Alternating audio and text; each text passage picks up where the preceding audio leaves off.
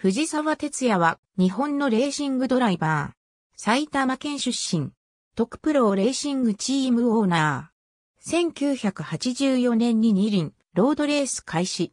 1985年、ノービス 125cc にデビュー。1986年には全日本、ロードレースシリーズ選手権、ジュニア 125cc クラスで8戦中4勝と圧勝シリーズチャンピオンを獲得。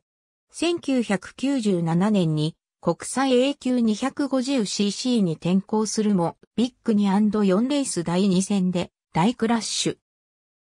大怪我を負ってしまい引退。この年、全日本では押し掛けスタート方式からクラッチスタートに変更された年だった。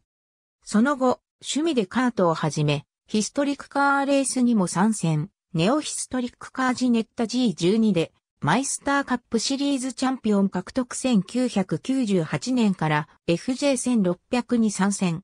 デビューレースエビス選手権でいきなり優勝、富士選手権でも勝利を収める。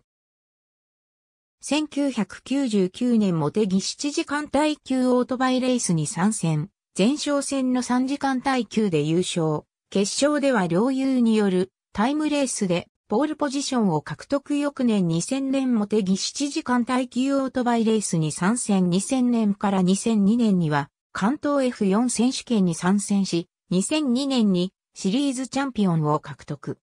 それを手土産に2003年、スーパー耐久シリーズにフル参戦、小川ランサーでシリーズ2クラス6位を獲得フォーミュラ日本にノバエンジニアリングから参戦。出場ドライバーの中では最年長で話題になった。ありがとうございます。